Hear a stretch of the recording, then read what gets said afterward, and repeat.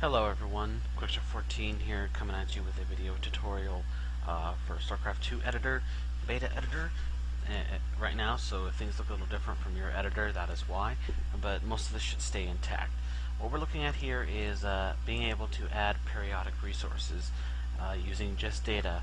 Uh, beforehand, if anyone's ever done Warcraft 3 or even Star the original StarCraft, doing anything like of this nature had to be done with triggers and only could be done with triggers now with the new data editor, editor and its power that we have, even though we're still learning how everything works, um, this can be done pretty easily. Uh, so I'm going to show you how to do that. It's very simple how to do that. We're going to need primarily two things. Uh, a behavior and effect. You also might want a button if you want it to show up. Uh, you know, so you actually have it over like whatever unit that's producing the uh, minerals or whatever. Don't have to do that, but it's something you can do. I'm just going to show you how to create the behavior and effect. Creating the button is pretty simple. So as you can see here, I've already created a passive resources, I have a couple actually, um, behaviors, and they're pointing to my effects. Uh, so uh, there's a lot to look at here, and this thing can be quite overridden whether you're looking at table view or if you're looking at it at uh, more conventional um, view, this view it doesn't matter. I do have advanced on, so you might not see everything here. Um, if something's missing here that I, I, modify, just turn it on. So what we're going to do is we're going to go ahead and let's just uh, go through this real quick. We've created a new buff. Is the type we want for our behavior. This is a positive buff, though it doesn't really matter here, but if you want it to actually show up as a buff on the unit, whether it's green, red, or gray, will determine from this. Uh, buff flags, it, it don't need to worry about it. Categories don't need to worry about it. Modification, you don't need to worry about here. Um, it does some other things like uh, uh, other things uh, that we really just don't need to worry about here. Player should be source, so make sure you change that to source. Damage response, you don't need to worry about. Cost, you don't need to worry about. Uh, effects periodic, we'll come back to that flags, if you don't want it to show up on the unit that it's on as a buff, uh, just click that and bring it up to hidden, and it will be hidden. Uh, this is a periodic effect, and we want it to happen every two seconds in this case, so we've set this to stats period two seconds, and that basically says, hey, I want this to happen every two seconds. Timescale source should be caster, because we want it to be done by the actual caster of the unit, not global. Uh, and then if you do want this as a buff, you can go ahead and set your icon here. If you don't, um, it'll be kind of blank. It'll be put with a default one, but I went ahead and put one here. So with that done, you can go to effects. You can see here I have a new uh, effect. You can create a new effect. Periodic gas and minerals. I call this low.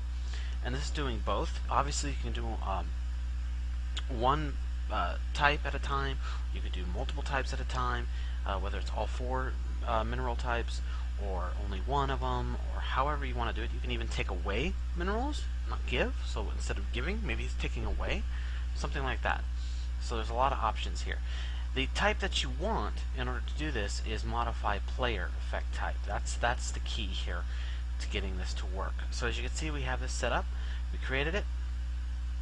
Um, ahead and gave it a nice name. An editor suffix saying it's low.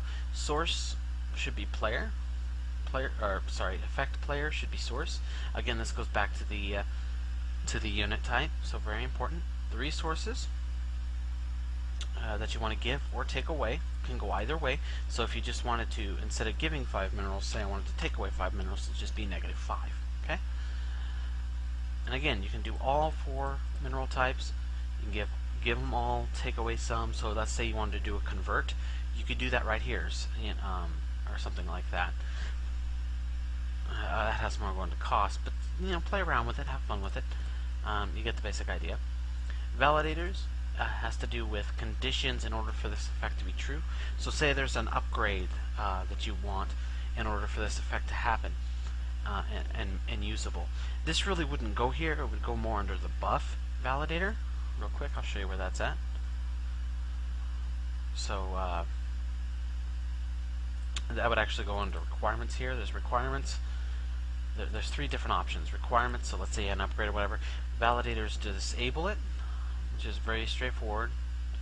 Basically, uh, uh, if it's if if it returns false, the behavior is going to be disabled and not usable. Uh, remove. If one of the validators returns false, the behavior will be removed from the unit. So a lot of different things you can do with that, but you get the idea. So say you wanted to be an upgrade, that's where you do it. I need to hurry up here. Uh, so that's what happens. You set it up, get it done.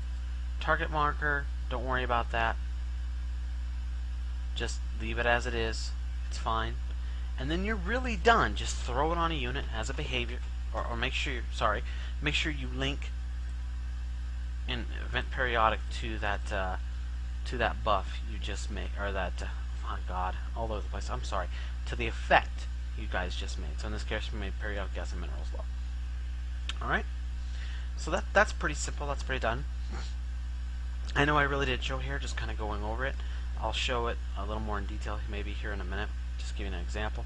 This first part I want to kind of get a summary in here and get through here. Uh, also FYI, for those who see this, this map that I'm working on is my Ion Cannon Wars map. It's my map I'm working on.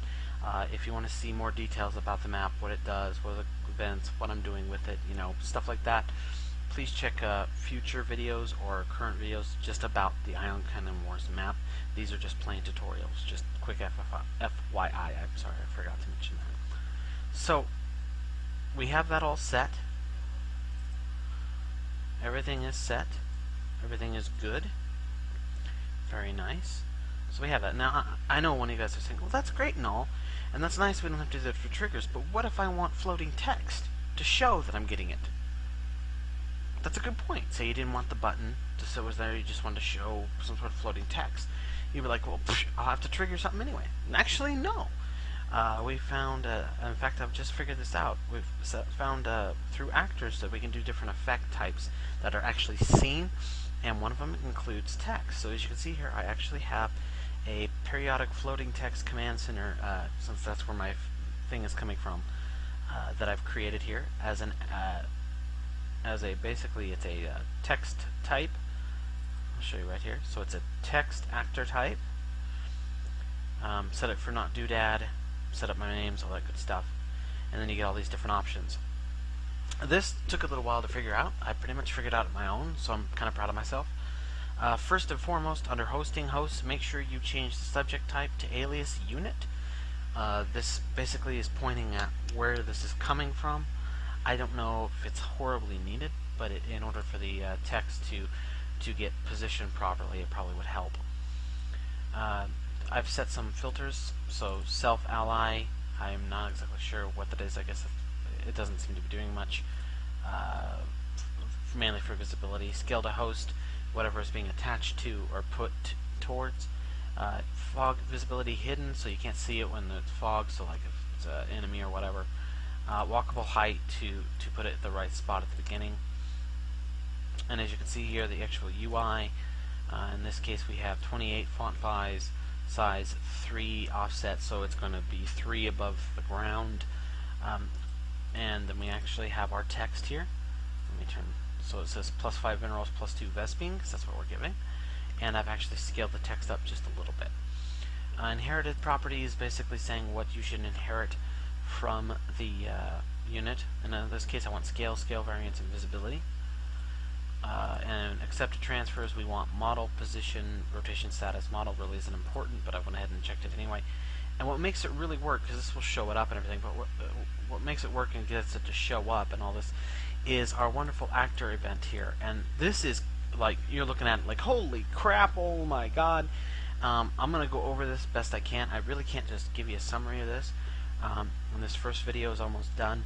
So uh, we will go step by step because I've set this up and I still want to set up a couple more for some of the others I have for this specifically. So in the next part here, I'm going to have uh, basically going over how to create the behavior and effect that I went over and then how to create the floating text for, for these so you can see how it's done and how to do other floating effects. You're going to find, once you see this, just how powerful this thing is. It's amazing, and I've been having a lot of fun with it. The only problem I've had lately is trying to figure out a validator of getting it to show up. Um, I haven't quite figured that out yet, Uh, I'll probably update my tutorial when I do figure that out more. I have something in place that hopefully will work. Um, so, but if any of you guys out there know how that's done properly on a validator, please, please, please, please, please let me know in the comments. I'll be glad to hear. So please stay tuned for part two. We'll actually go through this step by step, starting with the behavior and effect for creating your periodic resource, and then, of course, the actor for creating the floating text. So see you in part two.